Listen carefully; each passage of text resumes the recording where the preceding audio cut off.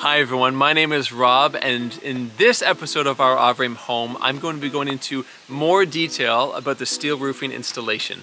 If you didn't see our first video about the steel roofing installation, be sure to check that one out first, but let's dive into today's content. Okay, so the first thing I want to be talking to you about is skylights. Uh, on our house, we have five skylights, and I had to figure out how exactly do you transition your steel roofing into the skylight. And the first comment I want to make is that since we purchased our house, uh, the specific skylight that Avrame uh, sends with their kits has changed. And so the, uh, the look of ours and the profile of it has changed slightly, but there's a few details that I think will still be pertinent regardless of which one you use. Uh, the first thing is that whenever you have a sheet of steel that's coming up to the edge of the, the window um, and you want to cut it, be sure to add an extra inch of steel material that you can then put a safety bend on. That's where you bend it back underneath the steel. And the reason for this is so that, I mean, A, it'll look better if there's a nice crisp bend, but B, when you cut the steel and expose the metal that isn't painted, it could be prone to rusting. And so you wanna make sure you protect that steel as much as possible from the elements. To that end, I would recommend, uh, if you don't own a brake, which I don't, uh, consider renting one or borrowing one from someone that has one. Um, I didn't have a brake and I didn't uh, ask anyone to borrow one and so I found some other methods of doing it.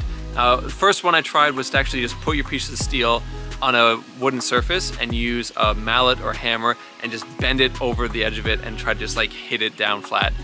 Uh, that worked, but it wasn't as easy as I found just using a pair of pliers and slowly but surely uh, putting a bend on that. Uh, you just wanna make sure that you're not scratching the paint as you do that uh, because again, you wanna protect it from the elements as much as possible. So regardless of how you do those safety bends, I wanna encourage you, do the safety bends, make sure that you are covering up all of that steel, and just be thinking about when you get to the skylight, where's the water gonna go? Uh, where's the ice gonna, when the ice melts, where's the water that's ice, where's it, where's it gonna go? You wanna make sure that you're eliminating any possibility for that water to make its way into your house. You wanna make sure that everything's tight, that it's fully connected, and that there's absolutely no way that that water can work its way into your home. The second thing I want to talk about is what happens when you actually come up to a dormer wall on your house. Uh, and I'll show you. This is the sidewall flashing that goes up against the dormer wall. And what you want to make sure is that when this sits on the roofing, that it's able to get nice and flat and tight. And then you're able to screw this really, really tight so that water and ice and snow can't get between the steel and the sidewall flashing. Once this is installed on the wall, or on the on the roof, your siding then goes over top of this piece of steel so that any water can't get in behind it and it protects your roof line. The second part of the dormer flashing kit has to do with where the pitches change. On the on the actual main part of the house, it's a 60 degree equilateral, equilateral triangle. I think it's a 2112 pitch. Uh, it's super, super steep. But when you come onto the dormer, our dormers are a seven degree pitch. And so it's almost a flat roof. And there's a piece of flashing that comes down and goes across. You wanna make sure that that piece of flashing goes underneath, underneath the part that goes all the way to the peak and then stays on top of the dormer roofing so that any water that comes down gets shed out and away. The third section that we're gonna talk about are the two gable ends. So on both of the far ends of your house, where your steel roofing meets the very edge. Same with the side wall, you wanna make sure that that piece of steel is not cut just square. You wanna make sure that you put a bend in it so that if any water gets in behind the piece of trim, it's all directed straight down to the very, very bottom of your roof line. Uh, but once you get that piece of steel on, you're gonna be installing the rake trim, and the rake trim looks like this. This part goes onto the outside edge, and this is the part that actually gets fastened onto your steel roofing itself. And so, uh, same with the sidewall flashing, just a series of screws holding this down to the roof, uh, screwed directly into the strapping, prevents any water from going over the edge. The fourth section I want to talk to you about is the ridge cap. The ridge cap is the part that goes on at the very, very peak of the house. You really want to make sure that your strapping goes all the way to the top. This is how high we had all of the steel or all of the strapping coming. Um, the, the actual peak of the of the trusses is like right here. So it was a little bit higher than the actual peak.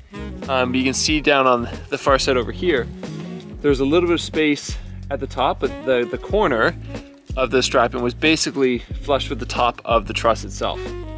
And so we cut the steel to be flush.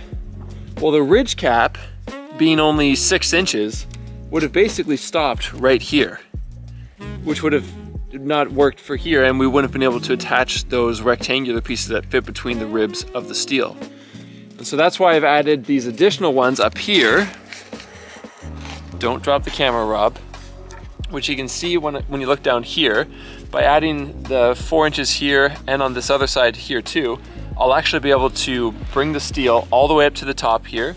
There's still a gap here, so it's a vented airspace uh, that comes up the house wrap and out the top. We will now, after we attach the steel, we'll be able to put that rectangular piece along the edge of it here and attach the ridge cap on top of it. What I did for installing that ridge cap is after I had one entire side of the roof finished, I went along and installed these connecting pieces that go on to the very, very peak of the house.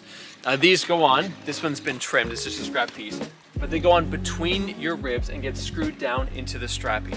Your ridge cap then comes down on top and gets screwed into the top here, and that prevents rodents from getting into your house, but also allows the air to get vented out rather than trapping it inside underneath the ridge cap.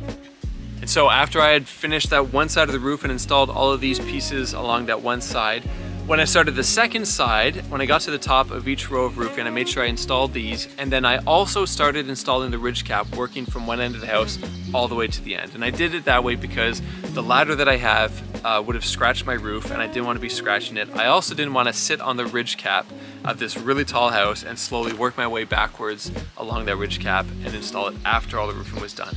And so that's how I chose to do it. You can choose to do it however you like, but slowly but surely you'll work your way along screwing the ridge cap down uh, to these connection pieces that are between each and every rib of your house.